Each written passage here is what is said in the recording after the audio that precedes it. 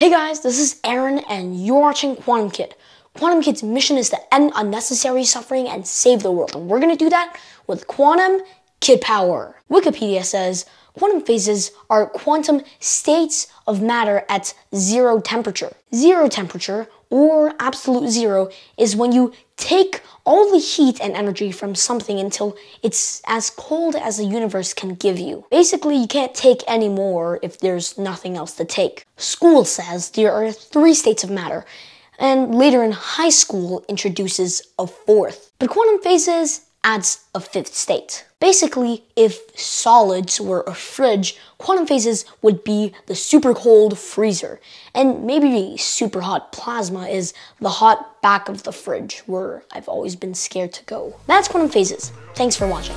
I'm Aaron from Quantum Qid. See you guys in the next episode.